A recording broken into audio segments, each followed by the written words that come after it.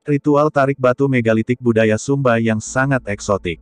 Ritual tarik batu megalitik berukuran raksasa di Sumba, Nusa Tenggara Timur NTT, adalah kebudayaan unik, menarik dan eksotik yang tak dapat ditemui di wilayah lain. Masyarakat Sumba mengenal upacara tarik batu sebagai bagian dari tradisi menghormati leluhur karena prosesi penarikan batu kubur mulai dari tempat asal pengambilan batu menuju lokasi pemukiman warga merupakan fenomena yang sangat menarik. Pada masa lalu ritual tarik batu kubur dilakukan sebanyak ratusan bahkan ribuan orang secara gotong royong karena batu dengan beratnya bisa mencapai puluhan ton maka kita langsung merasakan eksotik peradaban megalitik yang megah di depan mata.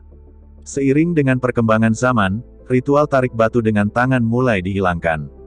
Masyarakat Sumba lebih memilih menggunakan alat berat seperti truk tronton atau ekskavator untuk menarik batu kubur dari asalnya menuju perkampungan.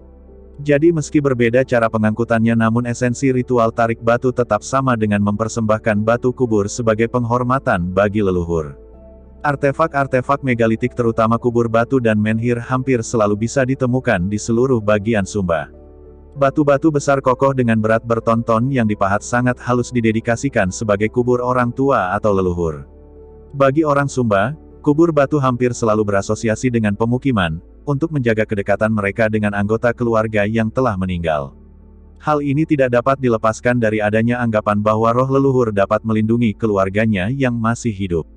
Letak kubur di depan rumah juga menjadikan keluarga yang masih hidup senantiasa teringat kepada leluhurnya yang telah meninggal dan memudahkan mereka untuk mengirim doa dan sesaji.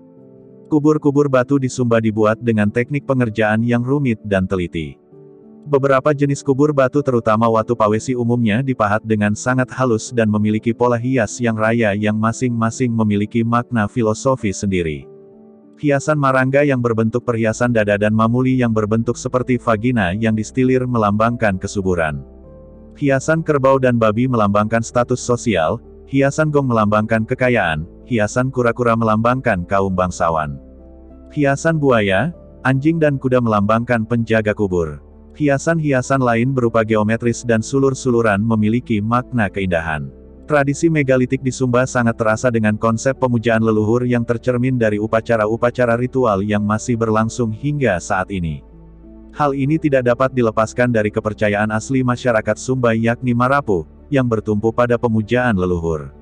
Penganut Marapu percaya adanya dewa-dewa di sekeliling mereka dan percaya bahwa arwah nenek moyang masih tetap hidup sehingga mereka memperlakukan arwah nenek moyang secara istimewa.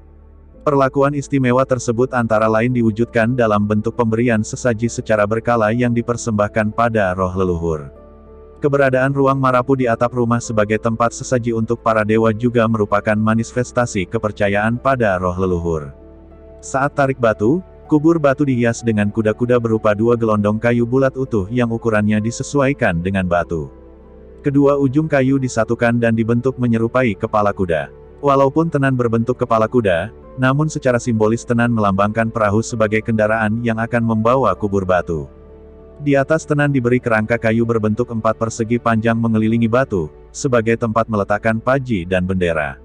Paji adalah bentangan kain berwarna putih, Sedangkan bendera Regi Hobu, berupa kain-kain tenun motif asli Sumba yang merupakan sumbangan dari para kerabat. Paji dan bendera memiliki makna untuk memayungi perjalanan agar selalu dingin dan teduh. Di Sumba, pemimpin upacara tarik batu disebut Paung Watu yang secara harfiah berarti panggil batu, yang berperan mengatur jalannya upacara sambil senantiasa meneriakkan kata-kata semangat. Paung Watu adalah sang pemimpin ritual dan penentu sukses tidaknya ritual tarik batu sehingga harus memiliki kemampuan untuk mengatur dan memberi semangat kepada masa. Sesaat sebelum acara tarik batu dimulai, Paung Watu memberikan santan kelapa Wei Malala, yang dipercikkan ke batu, sebagai simbol penyucian batu agar batu lebih mudah untuk ditarik. Di atas batu juga disiapkan gong dan beduk sebagai alat musik untuk memberikan semangat kepada para peserta ritual. Kubur batu dalam istilah arkeologi disebut dengan dolmen, di Sumba merupakan kubur primer yang dipakai secara komunal antara suami istri dan cucu-cucunya. Ciri-ciri budaya megalitik yang berintikan pemujaan kepada arwah leluhur ancestor worship, itu tidak hanya terlihat dari pendirian dan pemakaian kubur-kubur batu, tetapi juga dapat dilihat dalam keseharian mereka. Marapu yang masih dianut sebagian orang Sumba saat ini, merupakan kepercayaan asli yang bertumpu pada pemujaan arwah nenek moyang, meyakini roh-roh leluhur sebagai penghubung antara mereka yang masih hidup dengan Sang Pencipta. Inilah inti dari pendirian kubur-kubur batu tersebut. Pada masyarakat yang mengagungkan para leluhur seperti Sumba, upacara kematian menduduki tempat yang istimewa. Mereka tidak segan menggunakan harta benda yang dimiliki untuk memuliakan arwah leluhur. Memotong banyak hewan kurban seperti kerbau, kuda dan babi, menjadi sesuatu yang esensi yang diyakini akan memperlancar perjalanan arwah ke alam baka. Prosesi upacara kematian yang megah di Sumba tentu saja konsekuensinya memakan biaya yang amat besar. Ritual tarik batu Sumba menunjukkan status sosial, karena hanya keluarga bangsawan dan memiliki kemampuan ekonomi tinggi yang bisa melaksanakan upacara tersebut. Kubur batu di Sumba Timur dikenal dengan nama reti berukuran cukup besar terdiri dari tiga bagian yakni atap, kubur batu, dan penji, menhir yang berfungsi sebagai hiasan. Kubur ini bersifat komunal, karena satu lubang kubur diperuntukkan bagi jenazah suami istri atau cucunya.